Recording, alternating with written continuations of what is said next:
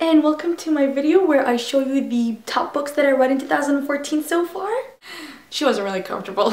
so yeah, it's July and I thought maybe showing the books that are my favorite books that I read in 2014 so far would be a good video. And I have six books that are probably my favorites of 2014. These books didn't actually come out in 2014 they just happen to be the books that I read in 2014. Go ahead and get started. This is in no particular order and in no favoritism order or any of that order. It's just whatever I pick. The first book is Maybe One Day by Melissa Kantor. This book is a contemporary about two best friends when and where one of the best friends actually gets cancer and the book just talks about how the two best friends go through that struggle and it is it's a very sad book. Um, it's very emotional and uh, emotions right now. It's just it's just a really really good read and if you haven't read it and you're a contemporary fan and you like your realistic fictions then I think you should totally go ahead and pick it up because this book was just a roller coaster ride and I love the friendship in it and it says here in the face of tragedy friendship is everything. So yeah, it was a really good book. The next book is Since You've Been Gone by Morgan Matson.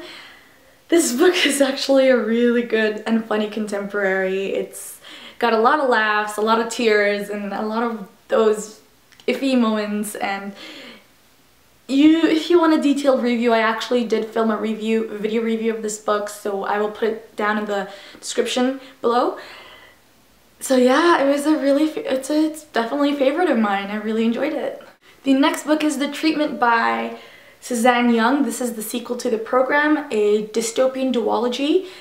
I also already filmed a video review of The Treatment, which I will also link down below. This duology it remains one of my all-time favorite dystopians ever. The Treatment came out this year in April and I read it and I devoured it and I absolutely loved it. It was a great ending to this duology. I was a little bit sad to see it ending, but again, I loved the ending and I was so happy with how everything turned up and this, this duology is great. I can't stop recommending it to all those dystopian fans out there. So again, if you haven't read it, you should totally pick up the treatment. I made all my friends pick it up and each and every single one of them loved it.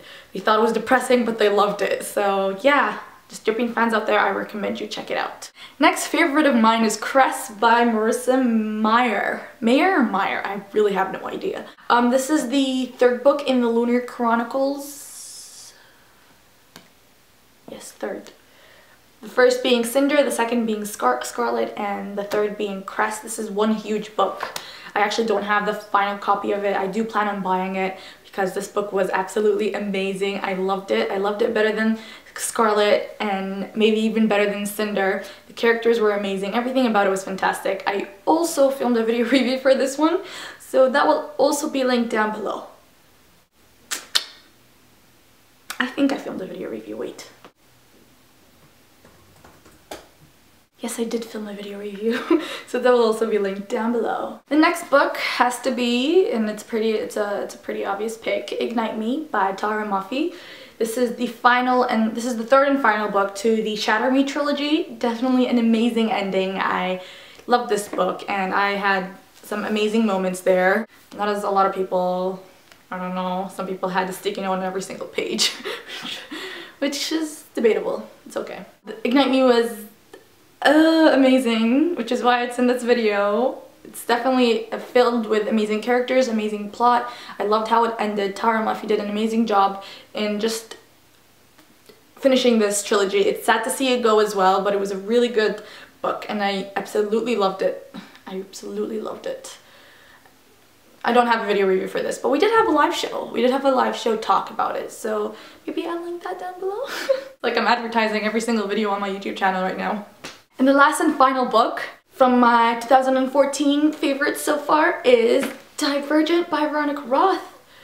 Um, if you've if you've been watching my videos lately, I've been probably mentioning about how much I really love this book and how much this was not a letdown for me. I was totally expecting it to be a letdown because after all the hype about Divergent, I definitely my I had high hopes for it and I was so thankful that it was amazing. It was as amazing as everyone said it was. I loved every single page. It was full of adventure, full of love and romance and friendship and action and kick butt characters and it was everything that I hoped for it to be. I yet have to read Insurgent and Allegiant. So I'm so happy I picked this one up. The movie was amazing too.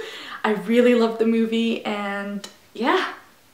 So from the 22 books that I read so far in 2014, shame, shame, shame. These six are my top favorites. I really loved each and every single of the, one of the books that I mentioned for absolutely different reasons. Most of them, as I can see, are dystopian and yeah, pretty, pretty good. I hope to read a lot more the remaining six months and at the end of the year I'll hopefully do another video like this one showing you the top books that I read in 2014 from now till the end. So again, thank you guys so much for watching. Hope you guys like this video and don't forget to subscribe if you're not already a subscriber and my hands are everywhere right now. Calm down.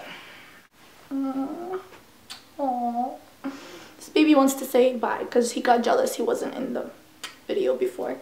So yeah, um, thumbs up for the kitty right here. so cute. It doesn't want to kiss me. I don't know why. I have good breath. So yeah, thank you guys so much for watching and see you guys in my next video. Peace.